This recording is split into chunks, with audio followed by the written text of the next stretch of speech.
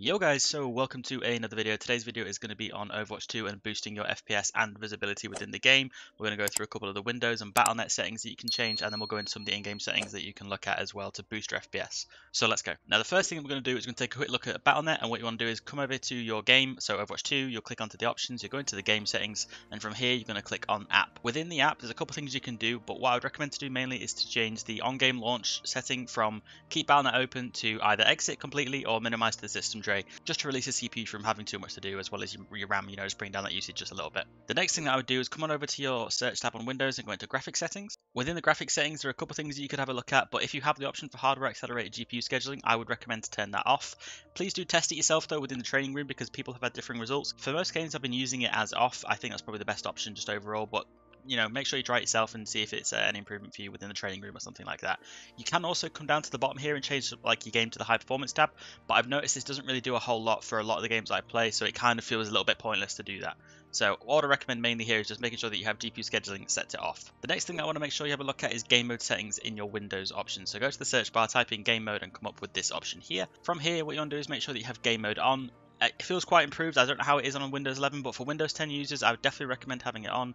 For Windows 11, I'd say give it a try and see how it feels, you know, practicing the training room again like you did with the hardware accelerated GPU scheduling. So if you're an NVIDIA user, then I would recommend coming into the control panel and we're going to go through some of the color settings here just to make your game a little bit more vibrant. If you're an AMD user, you might have similar options, but I'm doing this specifically for the NVIDIA users here. The first thing we want to do is come into the adjust desktop color settings and from here you want to select your main monitor and bring up the digital vibrance all the way up to 80%. Your game basically will have a lot more vibrant colors, the saturation will be increased and you don't have to mess around with monitor settings to get that improvement. Uh, you can do this for any NVIDIA GPU, so make sure you use it. Additionally, if you'd like to copy along with my 3D settings just to max out your FPS and performance in game, then follow along with these, although this isn't really the main feature of the video as I don't think Overwatch really has that much impact from these. Um, it's more so for AAA titles with bigger graphic requirements. Now the last thing we want to do while we're in Windows settings is to go into Task Manager and make sure you sort out everything that's on startup. You don't want a lot of applications or programs to be opening as you are booting up your computer, so I'd recommend disabling pretty much anything that you don't want to use straight away every single day. Things like Cortana and everything else you can disable or fine, nobody uses those sort of things. Any applications that you don't use all the time straight away, just disable them, and if you need to use them, you can just boot them up later. But it has such an impact on your performance that if you forget to turn them off and disable them in the Processes tab, it's just going to sap away your performance for the entire time. So make sure you disable things on startup and you'll be good to go. So let's go ahead and jump in some of the in-game settings now and then we'll talk a bit more about them there. Right, so you join me in-game now, so what the first thing we're going to do is we're going to go into our options and we're going to go and have a look at some of the graphic settings in-game. Now, let's go through each of these options one by one so we can talk a bit more about them as well. Uh, display mode, you want to set to full screen. If you are a streamer or if you like tapping out a lot, borders window is okay, but I would recommend full screen for the best, you know, lowest input sort of gameplay. Make sure you got your target display set to monitor 1, your resolution is set to your highest resolution, and you're using the max refresh rate of your monitor. I am actually not doing that, I've just realised now, so I'll be setting my set mine to 280.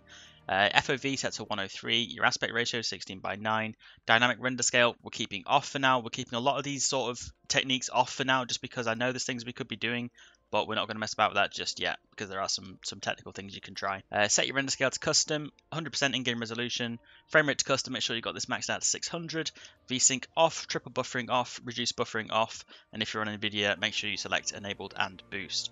You can mess about a little bit with reduced buffering. Uh, I don't recommend that, to be honest with you. If you just want the smoothest experience possible, I recommend just keeping things as basic as possible, as you're going to see as we go into our deeper advanced settings. So now that we've gone through the video tab, let's talk a bit more about some of the actual graphic settings you can do. The first thing I'm going to do is I'm going to do a pass through of the settings that I actually use, and then we're going to go and talk a little bit more about something you can try just to gain a bit more performance if you really want to. So first things first, we're going to set our graphics quality to low because we're going to adjust it all anyway. We'll ignore high quality upsampling for now because we can come back to that later on, and we're going to start going through the settings that I actually run with normally. Now typically I'd run with high, although if you want to max out performance completely without the best sort of fidelity, I would say run low. But I like the visual appeal of the game, and so I keep my texture quality on high. But like I said, low is also fine if you want to max out completely. Texture filtering quality I have on 1x, you can go up to 4x, but if you're looking to maximize again, keep on to low 1x. Local fog detail we set to low, dynamic reflections we have off, shadow detail off. The importance of having shadows isn't that prevalent in a game like Overwatch where sound is so loud anyway, um, it's not important to have shadows popping up on your screen. Model detail we have set to low, effects detail set to low, lighting low, anti-aliasing we have on low. You can use it off, but I like to have a little bit of an edge to the gameplay, so that's why I keep that on there. Refraction quality set to low, screenshot quality is 1x, whatever. Ambient occlusion make sure I have it off.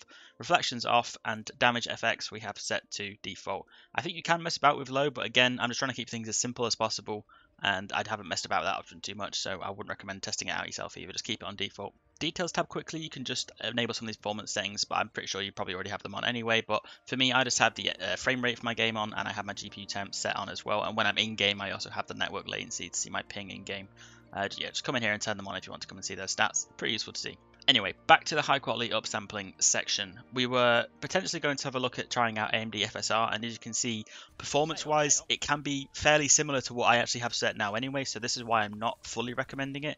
But if you are someone that thinks that you can probably push a bit more out of a lower end system, then potentially I would say set your AMD FSR to 1.0 and make sure you have image sharpening on 0.25. That way your game's going to look fairly sharp and you can adjust this setting a bit more, so go a bit higher if you wanted to, just to make your game a little bit sharper. For performance though, I don't really notice it increasing all that much, so I would recommend just sticking with the default and just the settings I'd recommended before. Now if you really want to boost performance, you can set your render scale and your in-game resolution probably to about 80 to 85% if you really want to max out your performance. Although I don't really recommend this because your game is going to look a hell of a lot worse, and I personally don't recommend it for a, you know maybe a 10% gain for your game to look that much worse. I really don't recommend it. And well now as you can see I'm on 600 FPS locked in the training room. Obviously it's not a great example of what it would be like in game but it gives you a rough idea of how the game's going to feel smoothness wise and also the colouring of the game, how vibrant it feels and the sort of textures of the models and how they look as well. Like I said, obviously I've got a couple options that you can turn up or down depending on how you feel and if you want maximum fidelity. Alternatively, um, keep everything on low and the game will look just as good as well. It's important to note that I do have OBS open here as well, so my FPS would probably be a little bit higher if I didn't have it open, although obviously you're not going to see that with a 600 cap in-game. Um, so yeah, hopefully you guys enjoyed that video and you're going to get some use out of it. Don't forget to, you know, like, comment, share, subscribe to the channel, click the video on screen now if you want to watch some more of my content, and I will see you in the next video.